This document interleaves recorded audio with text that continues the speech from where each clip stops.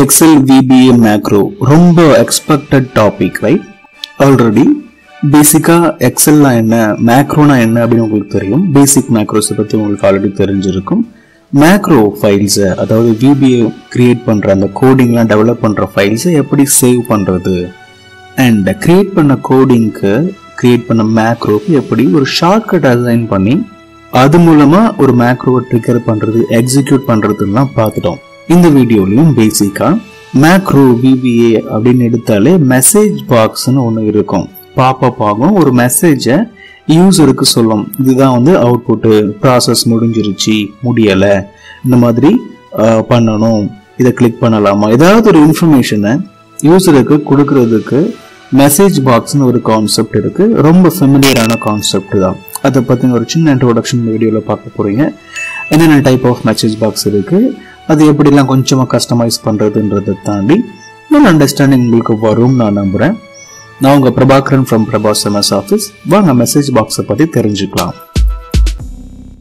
நான் முதல்ல சொன்ன மாதிரி ஒரு ப்ராசஸ் முடிஞ்ச உடனே ப்ராசஸ் ஹேஸ் பீன் கம்ப்ளீட்டட் அப்படின்ற ஒரு மெசேஜை யூசருக்கு சொல்றதுக்குன்ற மாதிரி நிறைய மெசேஜ் இருக்கலாம் ஓகேவா உங்களுக்கு தேவையான கஸ்டமைஸ்டு மெசேஜ் ஒரு பெரிய ஃபார்முலாவுடைய ஒரு ஒரு பெரிய ப்ராசஸோடைய அவுட்புட்டை யூசருக்கு சொல்றதுக்கு இந்த மாதிரி நிறைய கான்செப்டை யூஸ் பண்றதுக்கு ஒரு மெசேஜை கன்வே பண்றதுக்கு மெசேஜ் பாக்ஸ் யூஸ் ஆகுது. மேக்ரோ பத்தி தெரியாதவங்களுக்கு இது கட்டாயமா புரியும். தெரிஞ்சவங்களுக்கும் இதை அப்கிரேட் பண்ணிக்கிறதுக்கான ஒரு நல்ல வீடியோவா இருக்கும் நான் நம்புறேன். வீடியோ தொடர்ந்து பாருங்க.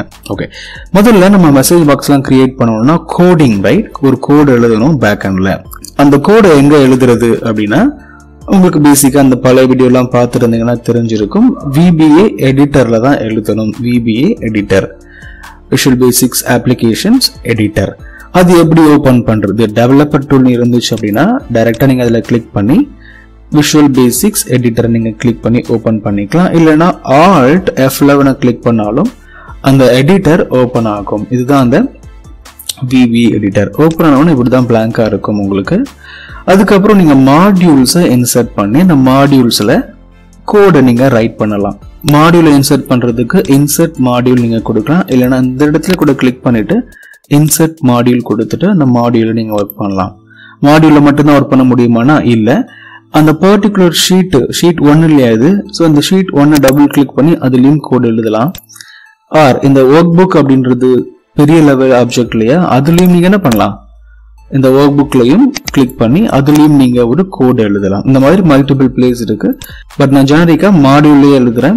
ஸோ தட் ஈஸியா நான் எல்லாமே இன்டகிரேட் பண்ணிக்க முடியும். ஸோ மாடியூலில் ஆல்ரெடி ஒரு மாடியூல் இன்செர்ட் ஆகிருக்கு இல்லையா? மாடியூல் ஒன் இதுல நான் டபுள் கிளிக் பண்ணி அதுலயே நான் ஒரு கோட் எழுதுறேன்.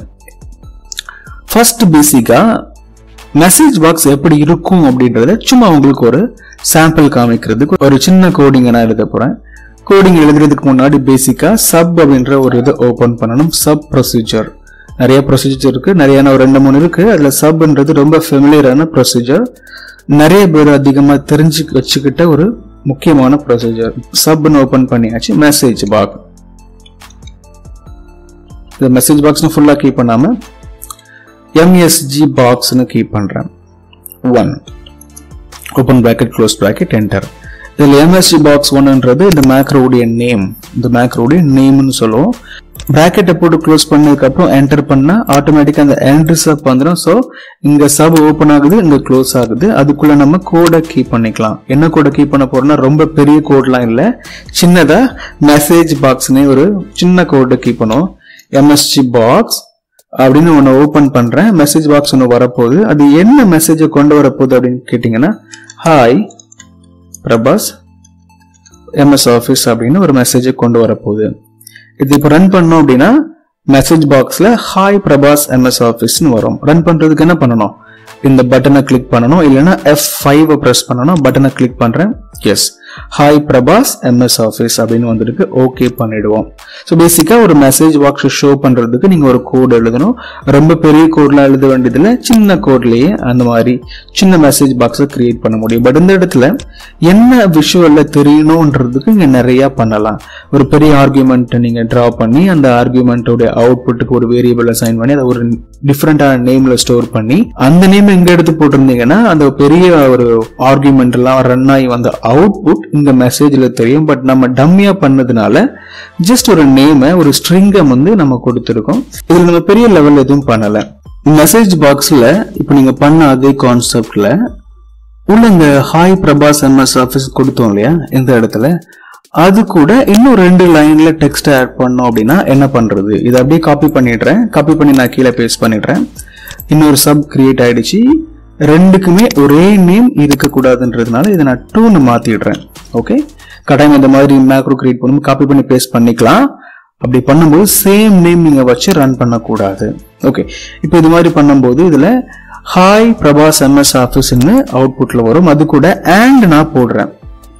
அண்ட் போட்டுட்டு VB new VB new line அப்படின்ற ஒரு கமெண்ட் ஆட் பண்ணிட்டு அண்ட் போட்டுறேன். இப்போ என்ன ஆகும் அப்படின்னா ஃபர்ஸ்ட் லைனில் ஹாய் பிரபாஸ் எம்எஸ் ஆஃபீஸ் வரும். அதுக்கப்புறம் நியூ லைனில் நான் இங்கே என்ன போடுறனோ அந்த அவுட்புட் வரும். வெல்கம் அப்படின்னு போடலாமா? போதும். இப்போ இது நம்ம ரன் பண்ணோம் அப்படின்னா hi Prabhas MS Office welcome அப்படின்ற அவுட்புட் வரும். நான் எஃப் ஐவை ப்ரெஸ் பண்ணுறேன் yes hi Prabhas MS Office welcome வெல்கம்ன்றது எதுக்காக செகண்ட் லைனில் வந்திருக்கு அப்படின்னா நான் நியூ லைனில் வரணும்னு நான் என்டர் பண்ணியிருக்கேன். நீங்கள் நார்மலாக என்டர் என்டர் பண்ணி நியூ லைனில் வருமானா வராது. இந்த மாதிரி அதுக்கும் நீங்கள் கோட் தான் எழுதணும். இப்போ என்ன பண்ண போகிறோம்னா ரொம்ப இன்ட்ரெஸ்டிங்காக அடுத்த லெவலில் போக போகிறோம் எக்ஸல்ல இருக்கிற ஒரு செல்ல உள்ள வேல்யூ எடுத்து மெசேஜ் பாக்ஸில் ஷோ பண்ண போகிறோம் எதுக்காக இந்த மாதிரி ஸ்டெப் பை ஸ்டெப்பாக போகிறோம் அப்படின்னா அப்போ தான் மெசேஜ் பாக்ஸை பத்தின ஒரு கம்ப்ளீட் கைடன்ஸ் உங்களுக்கு கிடைக்கும். இதில் ஏதாவது ஒரு கான்செப்டை நீங்கள் தேடும் போது நீங்கள் பார்க்கும்போது உங்கள் மைண்டு ரிஜிஸ்டர் ஆன விஷயம் ஃப்யூச்சரில் உங்களுக்கு யூஸ் ஆகும். ஓகே என்ன பண்ண போகிறோம் ஒரு செல்லில் உள்ள ஒரு வேல்யூ எடுத்து எக்ஸலில் உள்ள மெசேஜ் பாக்ஸில் வர்ற மாதிரி ஷோ பண்ண போகிறோம் அதுக்கும் நான் இந்த ஸ்ட்ரக்சரை காப்பி பண்ணிக்கிறேன். காப்பி பண்ணிவிட்டு பேஸ்ட் பண்ணிவிட்டு நேமை மட்டும் மாற்றிடுவோம் ஃபஸ்ட் இந்த மெசேஜ் பாக்ஸுக்கு போட்ட கோடிங் ஃபுல்லாக டெலீட் பண்ணிவிடுவோம் ஃப்ரெஷ்ஷாக நம்மளே புதுசாக ஒரு கோடிங் டெவலப் பண்ணுவோம். ஃபர்ஸ்ட் நமக்கு மெசேஜ் பாக்ஸ் வரணும். மெசேஜ் பாக்ஸ் வரணும். அது உள்ள என்ன வரணும் அப்படின்னா வேல்யூ ஏஸ் அப்படின்னு ஒரு டெக்ஸ்ட் வரட்டும் முதல்ல. பக்கத்தில் ஒரு கோலன் வரட்டும். அதுக்கப்புறம் ஒரு ஸ்பேஸில் போட்டுட்டு நம்ம டபுள் கோட் போட்டு க்ளோஸ் பண்ணிடுவோம். இதுக்கு பக்கத்தில் என்ன வரணும்னா இந்த வேல்யூவை நம்ம கொண்டு வருவோம். இந்த வேல்யூ எங்கே இருக்கு? ஏ ஒன்ல இருக்கு. அப்போ ஏ ஒன்னு நம்ம ரெஃபர் பண்றதுக்கு and தான் போடணும். அப்போ தான் மல்டிபிள் ஸ்ட்ரிங்கை நம்ம ஆட் பண்ண முடியும். இது ஒரு ஸ்ட்ரிங் அது பக்கத்துல ரேஞ்சுன்ற ஒரு ஃபார்முலா கொடுத்து இந்த வேல்யூவும் கொண்டு வர போறோம். ரேஞ்ச் ஓப்பன் ப்ராக்கெட் ஏ ஒன்ல தான் இருக்கு. டபுள் கோட்ல A one double quote close பண்ணி பிராக்கெட்டையும் க்ளோஸ் பண்ணி டாட் வேல்யூ இந்த ஏ ஒன்ல உள்ளது வேல்யூ தானே? ஸோ இந்த மாதிரி நீங்க பண்ணும்போது என்ன சொல்லியிருக்கீங்க? மெசேஜ் பாக்ஸ் வரணும். மெசேஜ் பாக்ஸ் பக்கத்தில் இந்த மாதிரி ஒரு டெக்ஸ்ட் வரணும். அதுக்கு பக்கத்தில் இந்த வேல்யூ வரணும். எதுக்காக நான் இந்த இடத்துல ஸ்பேஸ் விட்டுருக்கேன் தெரியுமா? கோலனுக்கு அப்புறம் இம்மீடியட்டாக அந்த நம்பர் வந்துட்டா நமக்கு ஆடா இருக்கும் இல்லையா? அதனால் ஒரு ஸ்பேஸ் விட்டு வரணும்னு நான் கொடுத்துருக்கேன். இப்போ இது எஃப்ஐ ப்ரெஸ் பண்ணி நம்ம ரன் பண்ணுவோம்.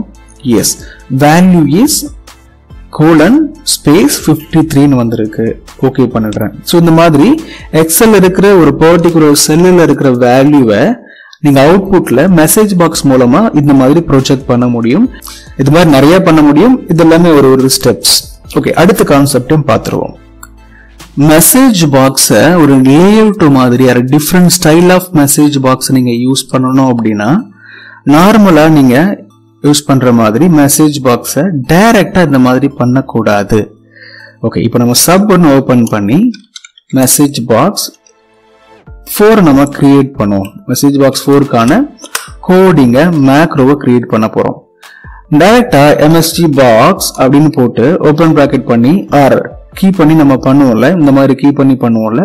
பட் இந்த இடத்துல நம்ம டிஃப்ரெண்ட் லேஅவுட்டில் உள்ள மெசேஜ் பாக்ஸ் எல்லாம் தெரிஞ்சுக்க போகிறோம் அப்படின்றதுனால ப்ராக்கெட் போட்டு அது உள்ள மல்டிபிள் சின்டெக்ஸை நம்ம கம்ப்ளீட் பண்ணணும். அதுக்கு முக்கியமான விஷயம் என்னென்னா இந்த மெசேஜ் பாக்ஸை டைரெக்டாக கீ பண்ணி ப்ராக்கெட் போட்டு பண்ணாமல் மெசேஜ் பாக்ஸ்க்கு ஒரு நேம் கொடுக்க போகிறோம் மெசேஜ் அப்படின்னு கொடுத்துக்கலாமா? எம்எஸ்ஜி அப்படின்ற ஒரு டெக்ஸ்ட்ல மெசேஜ் பாக்ஸ் அப்படின்ற இந்த கான்செப்டை நம்ம ஸ்டோர் பண்ண போறோம். ஸோ மெசேஜ் பாக்ஸ் அப்படின்ற கான்செப்ட் எக்ஸிக்யூட் ஆகும் பட் எம்எஸ்ஜி அப்படின்ற நேம்ல தான் ஸ்டோர் ஆகும். அதுல உள்ள கண்டென்ட் அதுல உள்ள அவுட்புட் இப்போ நம்ம மெசேஜ் பாக்ஸ்க்கான ஸ்ட்ரக்சரை நம்ம முடிப்போம் ஓகே எது ப்ராம்ப்ட் ஆகணும் யூசருக்கு எது டெக்ஸ்ட் வந்துட்டு யூசருக்கு இன்ஸ்ட்ரக்ஷனாவோ ஆர் மெசேஜாவோ போகணும் அப்படின்றத ப்ராம்ப்டில் நம்ம டிஃபைன் பண்ணணும். Hi Prabhakar type this text அப்படின்னு கொடுக்கலாம். அது மாதிரி நீங்க கொடுப்பீங்கல்ல அப்படி பண்ணலாம். ப்ராம்ப்டில் டு யூ லைக் எக்ஸல் அப்படின்னு நானே ஒரு கொஸ்டின் கேட்கறதா வச்சுக்கிறேன். டபுள் கோட்ல க்ளோஸ் பண்ணிடலாம். ஸோ ப்ராம்ப்ட் வந்து டு யூ லைக் எக்ஸல் அப்படின்றது ப்ராம்ப்டா இருக்கும். கமா கொடுத்துடலாம். கமா கொடுத்ததுக்கு அப்புறம் இங்க நிறைய டைப் இருக்கு பாருங்களேன். VB abort retry ignore VB application modal அதுக்கப்புறம் அதே மாதிரி பாத்தீங்கன்னா நிறைய இருக்கு. VB information VB box right நிறைய இருக்கு. VB yes or no VB yes no cancel இதுல உங்களுக்குன்னு டைப் வந்து நீங்க கொடுக்கணும். ஃபர்ஸ்ட் நான் என்ன பண்றேன்? ஜீரோன்னு ஒரு டைப்பை கொடுக்குறேன். ஜீரோ அப்படின்னு என்ன அர்த்தம்னா விபி ஓகே ஒன்லி அப்படின்றதையும் கொடுக்கலாம். ஜீரோவையும் கொடுக்கலாம். ஓகே ஒன்லி நான் செலக்ட் பண்றேன். இல்லைன்னா ஜீரோ கூட கொடுத்துக்கலாம். இதை நான் செலக்ட் பண்ணி கமா கொடுத்துட்றேன். இதுக்கப்புறம் டைட்டில் ஒன்று வரணும்ல? அதாவது இந்த மெசேஜ் பாக்ஸுக்கு ஒரு டைட்டில் கொடுக்கலாம் நீங்கள் அந்த டைட்டிலில் கொஸ்டின் அப்படின்ற ஒரு நேமை நான் கொடுக்குறேன். கொஸ்டின் அப்படின்றது டைட்டில் ஆஃப் தி மெசேஜ் பாக்ஸில் உங்களுக்கு டிஸ்ப்ளே ஆகும். அதுக்கப்புறம் ஆர்குமெண்ட்டை போதும். இதுக்கப்புறம் இந்த ஹெல்ப் ஃபைலு கான்டாக்ட் எல்லாமே கொடுத்துக்கலாம். இல்லைன்னா இக்னோர் கூட நீங்கள் பண்ணிடலாம். இப்போ நான் க்ளோஸ் ப்ராக்கெட் பண்ணி ஒரு டவுன் பண்ண உடனே இந்த ஸ்ட்ரக்சர் எல்லாமே அழகாக ஃபார்மட் ஆகிடுச்சு இப்போ நான் இதில் கிளிக் பண்ணிட்டு எஃப் ஃபைவ் நான் ப்ரெஸ் பண்ணேன் அப்படின்னா டி யூ லைக் எக்ஸல்ன்றது ப்ராம்ப்ட் ஆகுது. கொஸ்டின் அப்படின்றது டைட்டில் இருக்குது நான் ஜீரோ அப்படின்னு கொடுத்தேன் இல்லையா? ஜீரோக்கு என்ன அர்த்தம்? விபி ஓகே ஒன்லின்னு அர்த்தம். ஸோ ஜீரோ கொடுத்ததுனால விபி ஓகே ஒன்லி அப்படின்ற கான்செப்ட்ல ஓகே மட்டும் தான் வந்திருக்கு. There is no cancel there is no ignore எதுவுமே வரல. இப்போ ஓகே பண்ணிட்டு இந்த டைப்பை மட்டும் மாற்றுவோம் ஓகே ஒன்லி டெல் பண்ணிடுறேன். பண்ணிட்டு வேற என்ன இருக்கு? ஓகே அண்ட் கேன்சல் கொடுப்போமா? ஓகே கேன்சல் எங்க இருக்கு? ஆ ஓகே கேன்சல் இதுக்கு பதிலாக நீங்கள் நம்பர் கூட கொடுக்கலாம். ஓகே கேன்சலுக்கு நம்பர் ஒன் நம்பர் ஒன்னு நீங்கள் கீ பண்ணிட்டீங்கன்னா இந்த இடத்துல பிபி ஓகே அண்ட் கேன்சல்ன்ற கான்செப்டில் உங்கள் மெசேஜ் பாக்ஸ் பாப் அப் ஆகும். இப்போ நான் இது எஃப்ஐஓ ப்ரெஸ் பண்ணி ரன் பண்ணாலும் ஆர் இந்த பட்டனை கிளிக் பண்ணி ரன் பண்ணலாம் ரைட் ரன் பண்ணும்போது கொஸ்டின்ஸ்ன்றது டைட்டில் நம்ம அப்படிதான் கொடுத்துருக்கோம். அது வந்திருக்கு. As well as do you like Excel வந்திருக்கு. ஆனால் இந்த இடத்துல ஓகே மட்டும் வராமல் கேன்சல் அண்ட் ஓகே ரெண்டுமே வந்திருக்குன்றது தான் பியூட்டி ஏன் வந்திருக்குன்னா நம்ம என்ன பண்ணியிருக்கோம் விபி ஓகே கேன்சல்ன்ற டைப்ல வரணும்னு செட் பண்ணியிருக்கோம் இப்போ நம்ம ஓகே பண்ணிடலாம். புரியும்னு நினைக்கிறேன். அதே மாதிரி இந்த இடத்துல நிறைய இருக்கு. நம்ம ஒரு சில மட்டும் மாத்தி பார்க்கலாம். எஸ் நோன்னு ஒரு கான்செப்ட் இருக்கு. எஸ் நோக்கு நீங்க ஃபோர் கொடுக்கலாம். ஆர் டெல் பண்ணிட்டு இந்த கம்மா போட்டு நீங்க பார்த்தாலே எஸ் நோ அப்படின்ற ஒரு நேமும் வரும். டபுள் கிளிக் பண்ணியும் அதை ஆக்டிவேட் பண்ணிக்கலாம். ஃபோர் அப்படின்ற நம்பரையும் கீப் பண்ணலாம். இப்போ நான் என்ன பண்றேன்? ரன் பண்றேன். ஓகே கேன்சல் அப்படின்றதெல்லாம் தாண்டி எஸ் நோன்னு ஒரு அவுட்புட் வந்திருக்கு. சம்டைம் உங்களுடைய கொஸ்டின் வந்து எஸ் நோ கேட்குற மாதிரி லாஜிக்கலி இருக்கலாம். அப்போ நீங்கள் இந்த டைப்பை யூஸ் பண்ணலாம். சம்டைம் ஓகேவும் கேன்சலும் இருந்தால் போதும். ஒன்று ஓகே பண்ணு இல்லை கேன்சல் பண்ணுன்ற மாதிரி கொடுக்கலாம் அப்படின்னு உங்களுக்கு தோணும். அப்போ அந்த கான்செப்டை யூஸ் பண்ணிக்கலாம். ஸோ என்ன சொல்ல வரோம் அப்படின்னா நிறைய டைப்ஸ் இருக்குது அந்த எல்லா டைப்புமே உங்களுக்கு டிஃப்ரெண்ட்டான நேரத்தில் தேவைப்படும். அப்போ அந்தந்த டைப் நீங்கள் உங்களுடைய ரெக்குவயர்மெண்ட்டுக்கு தகுந்த மாதிரி யூஸ் பண்ணிக்கோங்கன்னு சொல்ல வரேன். கடமை உங்களுக்கு புரிஞ்சிருக்கும்னு நினைக்கிறேன். நான் எஸ் கொடுத்துட்டு அடுத்த கான்செப்டுக்கு போறேன். ஓகே ஃபைனலாக மெசேஜ் பாக்ஸ்ன்ற கான்செப்டில் இஃப் கண்டிஷனை யூஸ் பண்ணால் எப்படி இருக்கும்? நல்லா இருக்கும்ல? நம்ம தான் பண்ண போகிறோம் இஃப் கண்டிஷன் உங்களுக்கு பேசிக்காக எக்ஸலில் நார்மலாக ஃபார்முலா போடுற லெவலில் தெரிஞ்சிருக்கலாம். இந்த இடத்துல இஃப் கண்டிஷனை எப்படி மெசேஜ் பாக்ஸில் அப்ளை பண்ணுறதுன்னு பார்க்க போகிறோம் நம்ம ஆல்ரெடி மெசேஜ் பாக்ஸ் ஃபோர்ன்ற மேக்ரோ கிரியேட் பண்ணியிருக்கோம். அந்த மேக்ரோ அப்படியே காப்பி பண்ணிக்கலாம். ஓகேவா காப்பி பண்ணிட்டு நேமை மட்டும் நான் மாற்றியே ஆகணும். மாற்றியாச்சு இப்போ இதில் என்ன சொல்லுது? மெசேஜ் பாக்ஸ் அப்படின்றதுல message box do you like எக்ஸல்னு கேட்கும் யூசர் வந்து எஸ் நோன்னு கொடுப்பாரு. இந்த கான்செப்ட் அப்படியே மைண்டில் வச்சுக்கோங்க. அதாவது மெசேஜ் பாக்ஸ் அப்படின்ற அந்த எஸ் உடைய கிளிக் இருக்கும் இல்லையா? இது பாப்பப் ஆன உடனே யூசர் எஸ்ன்னு கிளிக் பண்ணுவாரு இல்ல நோ கிளிக் பண்ணுவாரு. அந்த விஷயம் எம்எஸ்ஜி அப்படின்ற நேம்ல ஸ்டோர் ஆயிரும். இது ரன் ஆச்சு அப்படின்னா. என்டர் பண்ணிட்டு இஃப் எம்எஸ்ஜி எம்எஸ்ஜினா இந்த எம்எஸ்ஜி அப்படின்ற name is equal to VB yes அப்படின்னு இருந்துச்சுன்னா தென் போட்டு என்டர் பண்ணுங்க. இப்போ if MSG is equal to VB yes ஒருவேளை யூசர் எஸ்ன்னு கிளிக் பண்ணியிருந்தார் அப்படின்னா ஒரு மெசேஜ் பாக்ஸ் வரணும். இது புது மெசேஜ் பாக்ஸ் என்ன மெசேஜ் பாக்ஸ் வரணும் yes has are you have selected yes அப்படின்னு ஒரு அவுட்புட் வரணும். இதுல நீங்க எந்த அவுட்புட் வேணாலும் போட்டுக்கலாம். நான் ஒரு ப்ராக்டிஸ்க்காக உங்களுக்கு புரியணுன்றதுக்காக சிம்பிளாக போடுறேன். இந்த இடத்துல நீங்கள் ஒரு சின்ன கால்குலேஷன் டிரைவ் பண்ணணும்னு போட்டுக்கலாம். இந்த ஃபார்முலாக்கு பதிலாக அந்த ஃபார்முலா ரன் ஆகணும். ஆர் அந்த ஒரு ஃபார்முலா ரன் ஆகணும்னு என்ன வேணாலும் போட்டுக்கலாம். நான் என்ன கொடுத்துருக்கேன்னா இந்த மாதிரி எஸ் கொடுத்தாருன்னா யூஸர் எஸ் கொடுத்த உடனே இந்த மாதிரி ஒரு மெசேஜ் வரணும்னு நான் கொடுத்துருக்கேன். தென் என்டர் பண்ணிவிட்டேன் எல்ஸ்ன்னு ஓப்பன் பண்ணுறேன் ஸோ யூசர் வந்து எஸ்ன்னு கிளிக் பண்ணுவார். இல்லைன்னா என்ன வரணும்? மெசேஜ் பாக்ஸ் வரணும். இன்னொரு மெசேஜ் பாக்ஸ் வரணும். அதுல செலக்டட் நோன்னு வரணும். அதுக்கப்புறம் இன்னும் என்டர் பண்ணி எண்ட் இஃப்னு கொடுத்துடலாம். எண்ட் இஃப் ரொம்ப முக்கியம். ஏன்னா ஒரு இஃப் ஓப்பன் பண்ணீங்கன்னா ஒரு எண்ட் இஃப் ஓப்பன் பண்ணியே ஆகணும். இப்போ இதெல்லாமே என்னது? இஃபுக்குள்ள வர்ற சப்ன்றதுனால நம்ம இதை அப்படி கிளிக் பண்ணி மூவ் பண்ணிடலாம். அழகா இருக்கும் பாருங்களேன். அப்படி ஸ்ட்ரக்சர் மாதிரி இருக்கும். இஃப்ன்ற ஒரு ஃபார்முலாக்குள்ள ரெண்டு மெசேஜ் பாக்ஸ் போட்டிருக்கோம். இஃப் மெசேஜ் அதாவது இந்த மெசேஜ் அப்படின்றது விபிஎஸ் அப்படின்னா அதாவது எஸ் கொடுத்தாங்க அப்படின்னா இந்த மெசேஜ் பாக்ஸ் வரும். இல்லைன்னா இந்த மெசேஜ் பாக்ஸ் வரும். அதனால எல்ஸ் போட்டு நம்ம இன்னொரு மெசேஜை போட்டிருக்கோம். நார்மலாக எஸ்குள்ள எஸ் உடைய மெசேஜ் இருக்கு. எல்ஸ் பார்ட்ல நோ கொடுத்தா என்ன வரணுன்ற மெசேஜ் இருக்கு. தென் இஃப் முடியுது சப்பும் முடியுது. இப்போ ஓகே பண்ணி பார்ப்போம். என்ன வருது அப்படின்னு. எஃப்ஐ ப்ரெஸ் பண்றேன். டியூ லைக் எக்ஸல் அப்படின்னு கேட்குது நம்ம யூஸ்வலா ஃபர்ஸ்ட் பண்ண மாதிரியே கேட்குது எஸ் கொடுத்தேன் அப்படின்னா ஒரு மெசேஜ் பாக்ஸ் வருது அதுல யூ ஹாவ் செலக்டட் எஸ் அப்படின்னு ஒரு டெக்ஸ்ட் வருது. இப்போ ஓகே பண்ணுவோம். திருப்பி ரன் பண்றேன். ரன் பண்ணிட்டு நான் நோ கொடுக்குறேன். யூ ஹாவ் செலக்டட் நோ அப்படின்னு வருது. ஸோ ஈஸியா நமக்கு என்ன வேணும்ன்றத நம்மளே செட் பண்றோம். கோடிங் மூலமா. நம்ம செட் பண்ண கோடிங் மூலமா ஆர் நம்ம எழுதின கோடிங் மூலமா அந்த என்ன சொல்ல வரோன்றது அழகா எக்ஸிக்யூட் ஆகுது. இதுல நம்ம மாத்தினா மாத்திக்கலாம். வேற எதாவது ஆட் பண்ண ஆட் பண்ணிக்கலாம். எல்லாமே நம்ம கையில தான் இருக்கு. கஸ்டமைஸ் பண்றது. ஸோ மேக்ரோ நீங்க ஃபுல்லா கத்துக்கணும் அப்படின்னா நம்ம வீடியோ ஃபுல்லா வாட்ச் பண்ணுங்க. ரெகுலராக பண்ணும்போது ஸ்டெப் பை ஸ்டெப்பாக உங்களுக்கு மேக்ரோவையும் நான் எடுக்கிறதா இருக்கேன் நான் ஆல்ரெடி சொல்லியிருந்தேன். அதை இப்போ நான் பண்ணிக்கிட்டு இருக்கேன். இது மேக்ரோவில் one of the main topic message box அப்படின்றது. Different type of message box இருக்குன்றது தெரிஞ்சுக்கோங்க.